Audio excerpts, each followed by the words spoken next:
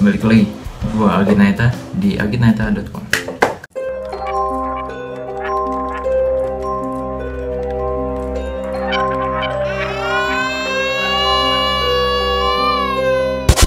Oke okay, guys, langsung aja.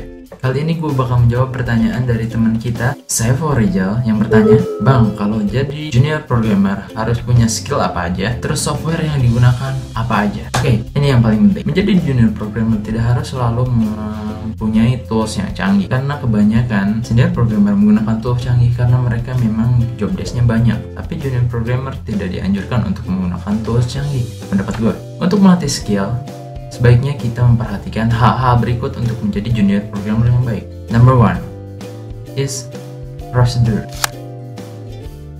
Tanpa sebuah prosedur, kamu tidak akan pernah mengerti bagaimana menulis kode dengan baik. Kamu tuh nggak pernah ngertiin aku. Ataupun mendapatkan algoritma yang baik. Prosedur adalah sesuatu hal yang telah berjalan secara offline atau artinya di luar sistem yang harus kita ubah menjadi sebuah sistem itu disebut dengan prosedur. Seperti misalkan bagaimana cara untuk mencatat keuangan, uang masuk dan uang keluar. Itu disebutnya dengan sebuah prosedur. Number 2 is algorithm.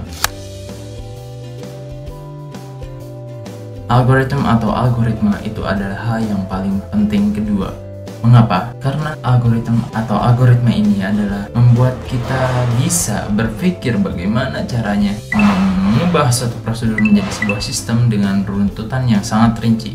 Misalkan saya menggunakan headset ini, kita jelaskan secara algoritma. Headsetnya saya taruh di sini. Kemudian saya tidak semena-mena langsung mengambil seperti ini. Algoritma adalah seperti ini. Ini adalah headset. Saya melihat headsetnya kemudian saya mengangkat tangan saya saya memegang headsetnya. Dengan kekuatan sekian kemudian saya putar headsetnya dengan rotasi sekian kemudian saya lepas di leher saya. Itu adalah salah satu contoh algoritma yang sederhana. Seperti itu. Itu disebut dengan algoritma. Nomor tiga is tools.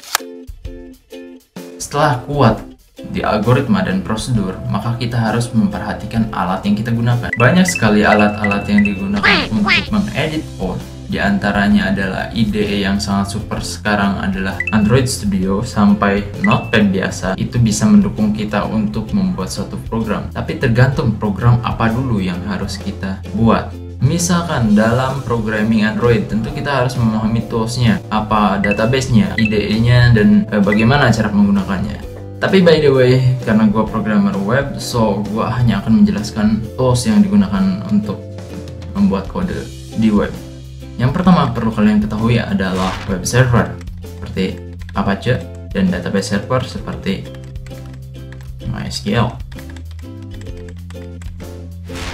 Kalian harus memahami arsitekturnya dari tools-tools ini, untuk apa mereka ada dan untuk apa uh, tools ini digunakan seperti SAM itu adalah gabungan dari web server dan database server yang di dalamnya ada Apache dan MySQL atau WAM sama seperti itu. Kemudian tools untuk mengedit teksnya saya biasanya menggunakan Sublime atau menggunakan bracket untuk front end atau menggunakan Notepad++ yang biasanya ada row-nya. Why? Karena kalau sudah ribuan kode mungkin saya akan pusing untuk melihat melihat kodenya.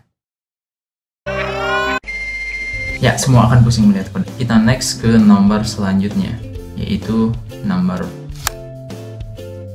ini yang paling penting. Kadang semua programmer ini hanya ingin loncat ke prosedur yang sangat rumit tanpa mereka tahu bagaimana cara menggunakan setiap elemen daripada kode. Seperti misalnya dalam pemrograman PHP. Kita harus paham itu variable, operator, function, keyword-keyword yang sering digunakan untuk mengolah sebuah string. Itu yang paling penting. Tanpa itu, kalian tidak akan pernah menjadi programmer yang pro. Kenapa? Karena hal dasar saja sudah kalian lewatkan. Apa bedanya kutip satu dan kutip dua saja kalian tidak mengerti bagaimana kalian bisa menjadi programmer yang pro. هلا اجا الزعيم العظيم على motherfucker Satu lagi, nomor 5 Untuk menjadi junior programmer yang baik, kalian harus mengerti juga bahasa Inggris. Karena senior programmer kalian tidak selalu punya waktu untuk membimbing kalian. Mereka juga punya job desk masing-masing yang tentu tingkat kerumitannya lebih rumit daripada kalian. So, kalian harus belajar bahasa Inggris untuk membaca dokumen dokumentasi yang diberikan oleh senior programmer. Bukan berarti senior programmer tidak sayang terhadap kalian, tapi mereka ingin kalian berkembang dengan membaca dan mengupgrade kemampuan kalian mulai dari segi coding dan dari segi bahasa Inggrisnya. Seperti itu.